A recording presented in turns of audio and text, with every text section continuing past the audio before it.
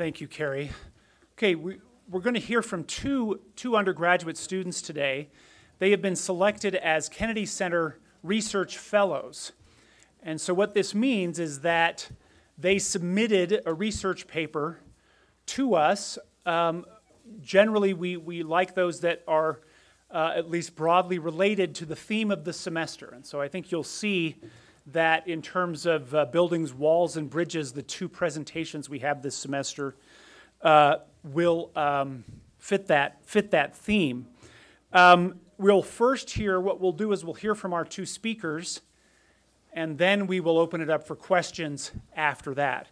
We will first hear from Eliza Bennett, who is a junior studying political science with a minor in international development.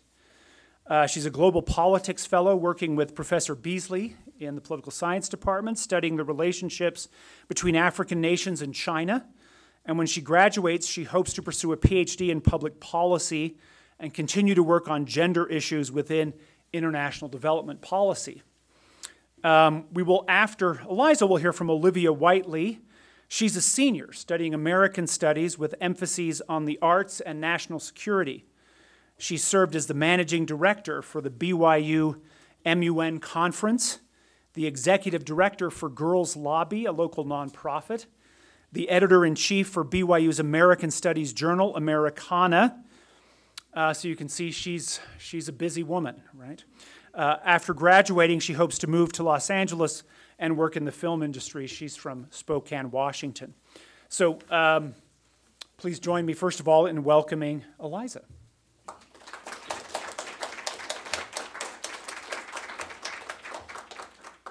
Thank you. I'm very excited to be here today. Um, so my research is on the informal education differences between men and women in rural Africa. Um, so my research took place at a farmer field school in rural Malawi um, called SAFI, the School of Agriculture for Family Independence. So SAFI's program brings in adult men and women who are married to their um, campus for one year to, to participate in an agricultural program that teaches them best practices in the field and hopes to encourage them to go out and get higher yields. And the hope is that they also will go out and have better gender equality after some classes and learning that men and women should be equal in the classroom. Um, so I've now gone two summers to Malawi to first do a research project and then um, follow up with some solutions to the problems I found. So the first summer I went and partic- uh, fielded a survey to the men and women at SAFI um, to determine what their experiences were and if there were any differences based on gender of their experiences. Um, one of the big differences we found were that um, women did not have any experience in a formal classroom setting while men did. And so only 70% of the women reported having only a partial primary or primary education. So that equates to about elementary school here. Um, and then 75% of the men reported having at least a partial secondary or secondary education, so high school. Um, this difference really affected the way they were able to participate in the classroom setting once they got to SAFI. Men felt more confident in the classroom, they felt confident going, they understood how to navigate that setting and how to succeed, while women were a lot more lost and felt a lot more discouraged.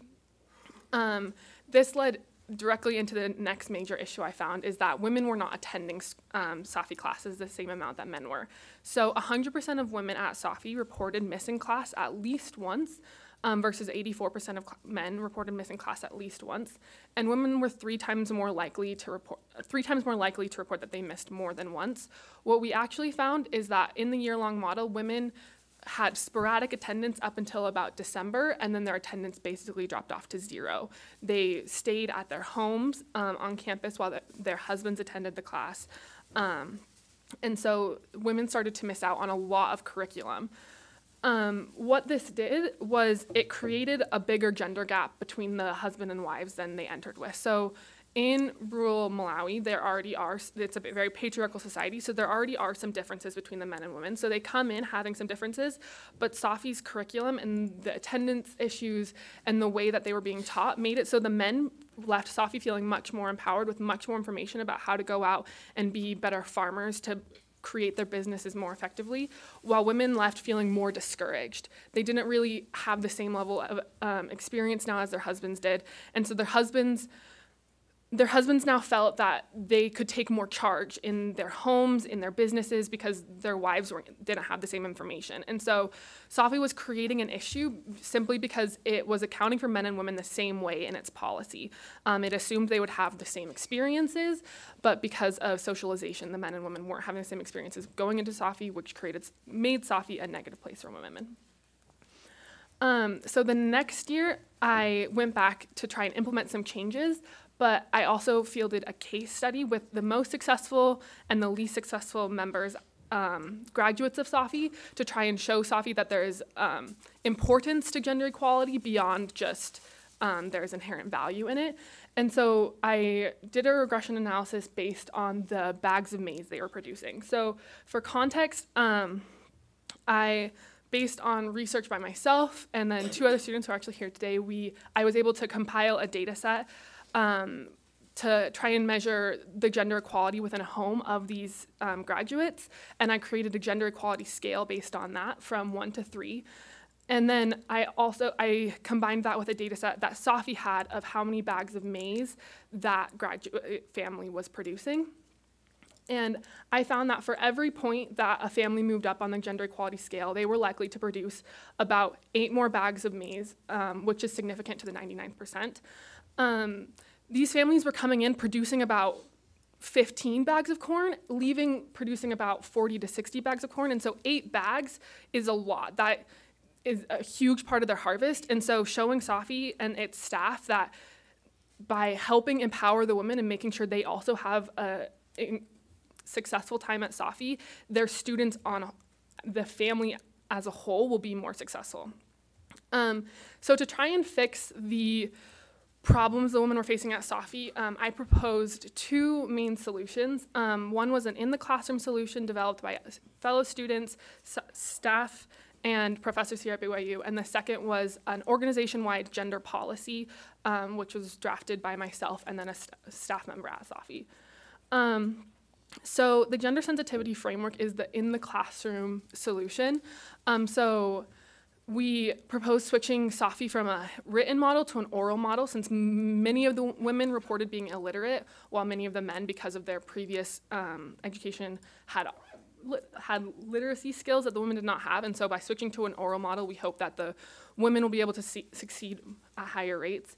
Um, similarly, we propose switching to hands-on learning since being involved in your learning has been shown to help you retain the information more. So since women can't take notes to refer back to when they return to their homes, the hope is that by inc including them in hands-on learning styles that they'll be able to remember.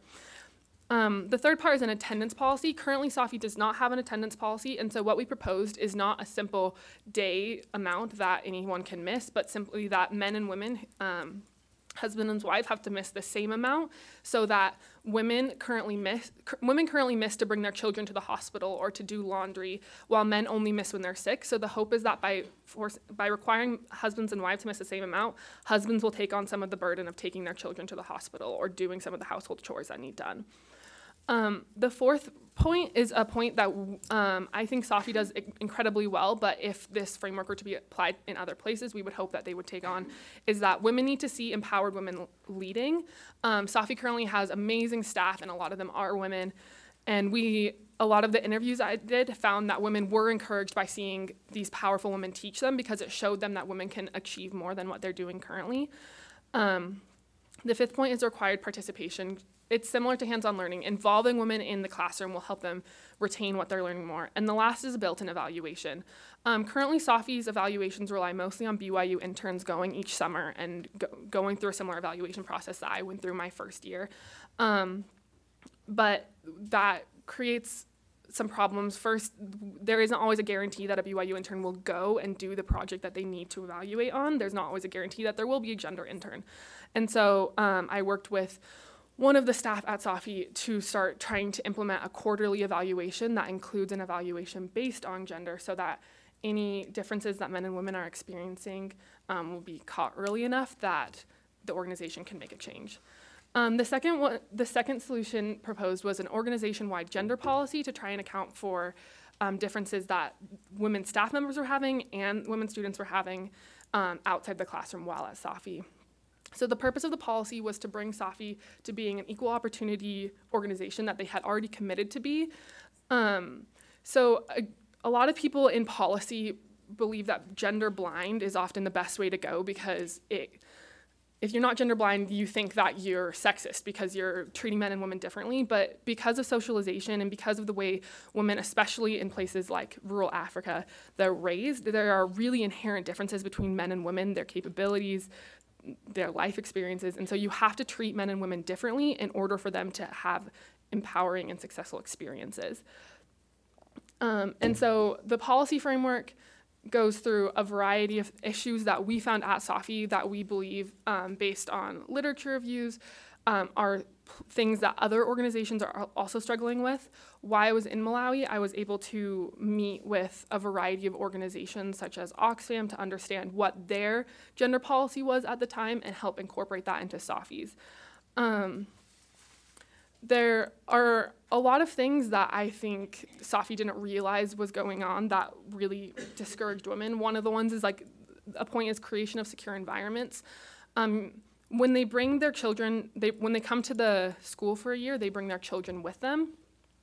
Um, but women are often the ones who are delegated the task of taking care of children. And so, because the children didn't have any place to go during that year, if they were under the age of the primary school, women were missing class to take care of their children. And so, all of these points within the policy framework worked to fix problems that SAFI was currently treating was currently not accounting for because they were treating men and women as equal.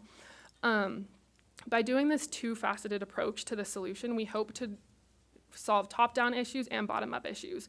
Um, in development as a whole, there's a lot of arguments about whether you should do things like in country, bottom up, let them create their own solutions or top down policy changes. And I believe that this project did a good way, did a good job of merging both of those to try and account for as many problems as we could. So thank you.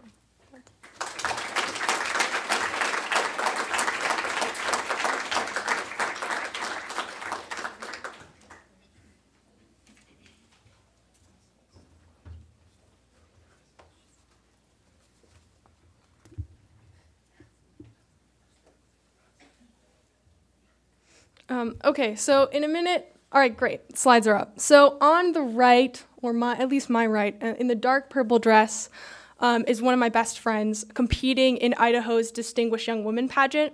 And we've had like probably two big disagreements within the span of our long friendship. And the first has been on Marilyn Monroe's role in like feminist iconography.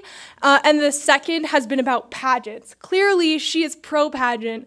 Um, and I am kind of like, eh, I don't know how I feel about this. I'm more skeptical of pageants. So if you're wondering kind of what a presentation on pageants is doing uh, in a class on international politics, stay with me because I'm there with you. I'm probably more skeptical than you. Um, so yeah, so my essay, how do I click this? What goes uh, forward? Just, yeah, the, yeah. Okay, great. Um, and sorry for the picture quality. It's not because I can't make a screenshot. It's because like this is early 2000s photography. Um, so that's just how it looks. Um, but my essay begins with a sentence uh, from this article talking about Diana Franco uh, winning the Miss Latina Utah pageant and the Miss Latina US pageant. Um, and the sentence begins Miss Utah Latina Diana Franco bested 18 other delegates to win the right to represent the Latino, the Latino population in this country at the 2009 international finals. Um, KSL's description of Diana Franco's victory at the Miss Latina US pageant describes representation as a right to be won only by performing successfully in the evening dress, athletic dress, and interview portions can a young Latina prove she is worthy to represent the Latinx population. Simul similarly, immigration law requires those seeking citizenship to perform well on a series of tests to prove they are worthy to be included in the body politic an interview, a background check, a citizenship test. Even the phrase a body of law connotes a relationship between corporeality and legality. In the pageant and citizenship processes, American immigrant imaginations of both Americanness and Latinaness materially affect outcomes. Only if they can prove their authenticity will they be able to win the crown or earn the right to vote. However, these imaginations of the ideal Miss Latina Utah or the ideal American are founded on standards of authenticity that are often racialized and gendered. Who gets to decide when you are American enough or Latina enough. Martinuszka's study of US media have found that the popular images of Latina bodies revolve around racialization, sexualization, exoticization, and tropicalization. Vallejo notes that imagined Americanness is centered on one primary factor whiteness. While the effects of racialized and sexualized representations of Latinas have been explored in depth, the experiences of those performing as representatives of Latinaness and Americanness have largely been excluded from academic conversations of representative politics. In this study, I researched the experiences of participants in and interrogated the space of the Miss Latina Utah pageant by conducting six semi structured, open ended interviews using a snowball sampling method, uh, and then coding the transcripts for keywords related to aspects of identity as described above. In the Miss Latina is the Miss Latina Utah pageant, as Jennifer Esposito writes, a third space, a place that allows for complex and sometimes transgressive representations instead of only reifying stereotypes, and allows identities to resist stable categories, instead recognizing them as contradictory, unstable, and historically shifting. Is the Miss Latina Utah pageant a borderlands between Americanness and Latinaness, where participants perform a post border citizenship? Um, so I want to take a moment and talk about this idea of third spaces. What is a third space? Um, in the discipline of American studies, uh, there is a hot debate about what America actually is. We're like the most disorganized discipline because no one actually knows what we're studying. Um, it's kind of funny when you're reading all these scholarly papers. People are asking, is it North America? Is it South America? Should we scrap all that and just talk about indigenous boundaries? Indigenous boundaries at what point in history? Um, there's this whole thing about this place called Turtle Island that's kind of a big deal. Um, what about airspace? What about ocean space? Is it an idea? Is it a set of values? Nobody really knows. Um, but either way, we're very familiar in American studies with this idea that boundaries and borders are things that are constructed, um, which doesn't which isn't to say that there aren't material consequences to those boundaries, right? I think we're becoming more and more aware um, as a broader white middle class American public of what those consequences of boundaries actually are. Um, but it is to say that boundaries exist because someone sat down at a map, drew a line, and then said, "This part is mine. This part is yours." And when we think about the constructed notions that come with our current border, it's things like high militarization, um, it's inflexible, it's key to these claims of sovereignty, and sometimes inflexibility of those constructions makes it difficult for us to see what a border potentially could be. So, a couple of months ago, a few professors at a university in California installed a hot pink seesaw um, in between the US Mexico border, and children on both sides were going up and down and playing together. And when we think about how that reshapes our understanding uh, of the US border, it entirely flips those constructions on their head. At that point, a border is something that is childlike, it's something that's playful, it's a place where two cultures can come together rather than a place of militarized division. Um, and in this paper, I argue that identity is similar, right? We have these fixed constructed ideas of Americanness as white, middle class class, Anglo Protestant, uh, and then we have these fixed ideas of Latino-ness as kind of racialized, hypersexualized, drawing on these stereotypes of the cantina girl, the devious vamp, or the self sacrificing matron. Um, and sometimes the fixed qualities uh, and the high consequences of those constructions prevent us from imagining what could identity be, what could that look like uh, in America. So, sociologists have found that culture uh, is one tool people may use to reshape ethnic boundaries. Just as Dowling describes racial frames as a repertoire of identities to be drawn upon, Swidler has found that culture can be considered a toolkit of symbols, stories, rituals, and worldviews which people may use in various, varying configurations to solve different types of problems. Recent theoretical innovations by Lizardo expand the academic definition of culture to include the implicit or non declarative aspects of culture. Consequently, performance studies scholar Dwight Conquergood, who's like my homie, if you want to get into performance studies, I would recommend starting with this guy. Literally, I read his article probably once a semester just to like bring joy back into my life. Um, but he posits that performative acts are embodied, tacit, intoned, gestured, improvised, co experienced, and covert. Um, or I also love this metaphor that, drawing on the work of Judith Butler, literary theorist Karen Christen- Christensen uses, uh, if Latinx ethnicity is a spectacle requiring an audience for interpretation, having no original referent, and an ongoing discursive practice that produces the appearance of substance and the illusion of origins, then it is a type of drag show that parodies the notions of essentialized identity categories. Deliberate performances of culture have the potential to reshape ethnic boundaries, creating more inclusive imaginations of Americanness and Latinaness.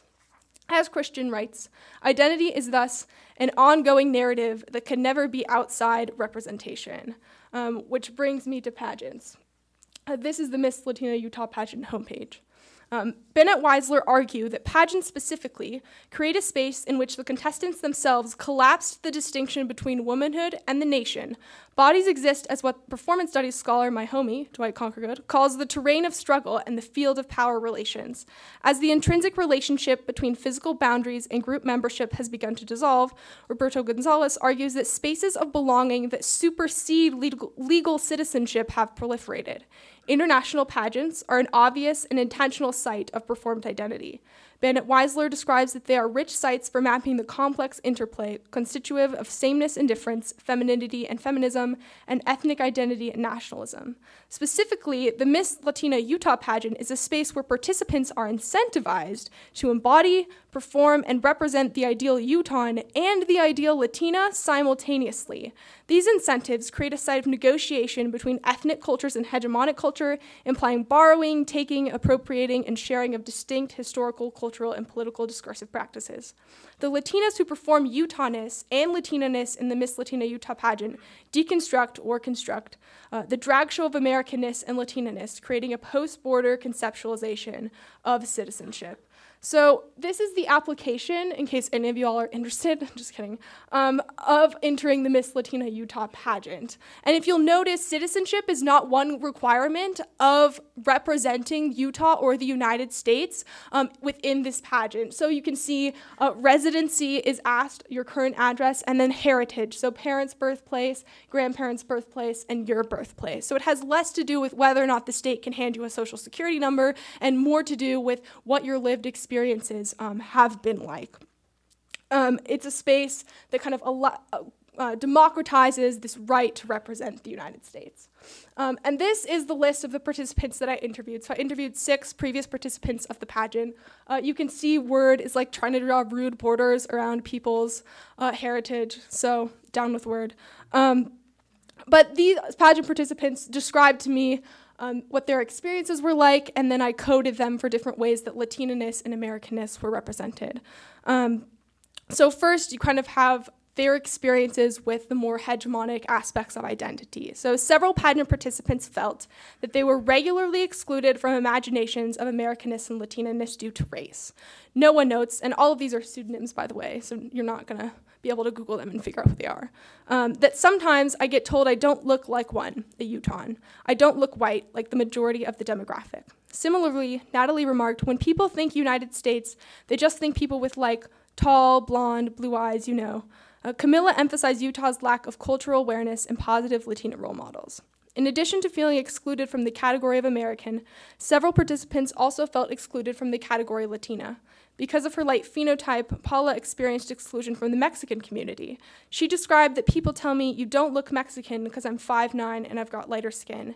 And people think that Latinos in general look dark skin, short. Differences in language ability also marked someone as a proper Latina in the minds of some pageant participants. Noah was concerned that the Spanish she had learned growing up would not meet the judge's expectations for formal Spanish. Racial stereotypes played a crucial role in feelings of exclusion. Assumption, assumptions about citizenship and birthplace, in addition to phenotype and physical appearance, played a role in excluding participants from feeling American. During the pageant, Paula tried to be an example of the variety of our culture and races and colors. However, once she reached the international level, so she's representing the United States as a Latina, uh, Paula's right to represent the United States was questioned because of the place of her birth. She described that the other pageant participants were confused about why a Mexican born person was representing the United States. They believed her position as the representative of the US was, quote, made up. A true Miss, Miss US Latina should be born in America. She admitted that it was kind of confusing for me because the pageant rules are not that well defined, as we discussed. So there's some positives to that ambiguity, but also some way that allows bias to seep into the judges and other participants. In this way, the pageant structure is somewhat post border. Citizenship does not determine one's right to represent the United States. Representation rights, like ethnicity, are somewhat based on self identification in the Miss Utah Latina pageant. Um, and here's some more of the good news about the way this pageant creates a third space. Although racialized and birthbound notions of citizenship somewhat pervade the pageant world, participants in the Miss Utah Latina pageant were able to reframe Americanness, Utahness, and Latinaness to cross borders and include themselves. Several participants eschewed borders, deliberately emphasizing the and of being both Latina and American. Sophia dressed both as a tapper and in an ind- indigenous costume from Brazil during the heritage portions of the pageant at the state and international level, labeling herself equally tied to American American and Brazilian traditions. Noah described that even the title of Miss Latina Utah gave her family and community a way to feel included. Quote, it's got Latina. Oh, we can say that. Oh, that's so awesome. We understand what that is. Further, being asked questions about representing two different cultures, being second or third generation, or speaking several languages during the interview portion of the pageant validated both Noah's Latinaness and her Americanness. She states, the fact that we had those questions asked really does show, it really does show us that it's important to be aware and it's important to have, at least for me, in my mind, having both cultures well versed, both the, uh, the American and the Latin. At the international level of the pageant, Natalie wore red, white, and blue as her costume for the heritage portion. While competing, she wrote herself into the narrative of the United States. She remembers wanting, quote, everybody to see that the United States is filled with people from other countries because we have a lot of immigrants here, and I am one of them. And I want them to see that I am I have my roots, but I live in this country that has it's my home now, and I am part of this, and I am part of the growing country of the country, and I contribute to this country pageant participants intentionally created representations that crossed borders and demonstrated legitimate claims to both Americanness and Latinaness. Aside from creating a post border third space where dual citizenship can be performed, the pageant participants redefined the core components of Americanness. Belonging was described in terms of participation rather than legalization. So these pageant participants are answering this question that American studies scholars are still like, what? What are we doing? Um, while describing her Americanness, Sophia notes the opportunities like speaking English well, knowing your rights, uh, entering into scholarship programs, or taking AP classes that she has had to advance economically, educationally, and socially. Noah believes that a Utahn is someone who adheres to the Utah Constitution, or who really does care about where our state is going and contributes to the well being of the state. Uh, Americanness, according to the pageant participants, the representers of Americanness themselves, um, was not codified by legal status, a citizenship test, anything like that, nor written on the body in their phenotype or their tall, tallness. Um, instead, Americanness was a set of actions to be embodied by Latinas and white Americans alike. Thank you.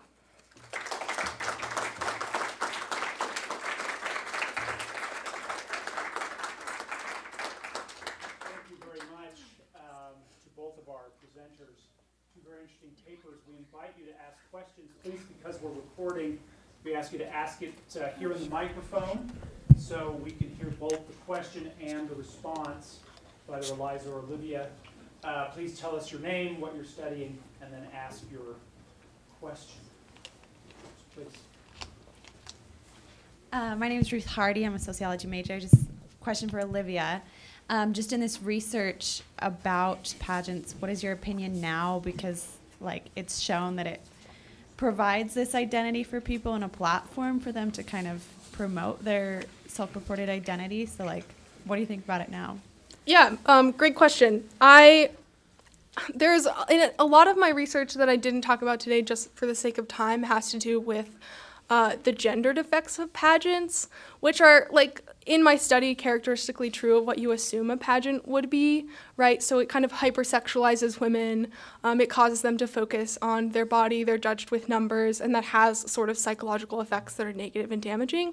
So I think I'm interested in seeing the ways that third spaces or places where Latina identity um, and American identity can be celebrated, perhaps outside of the sexualization of pageants, if that makes sense. Yeah, thanks.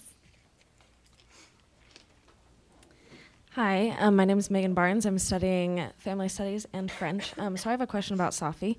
Um, when you like presented these changes and things like that, was it hard, like culturally, for these people to accept them? I know you mentioned that it was helpful to prove, like that the more bags when women were participating participating, but do you feel like it was like something that will take time for them to like get, you know, like change their culture or?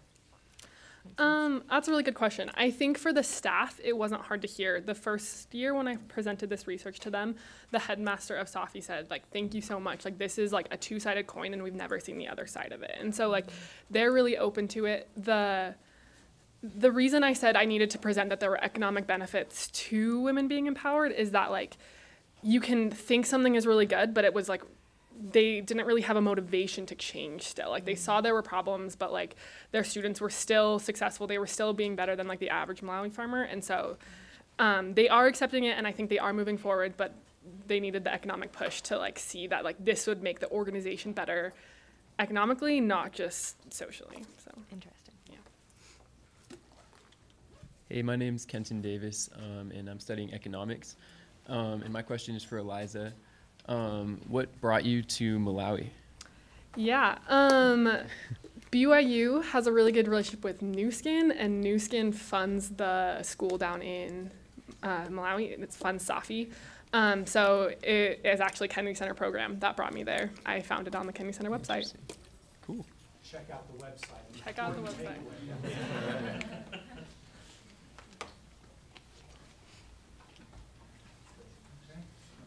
Any other questions? All right, please join me in thanking our two.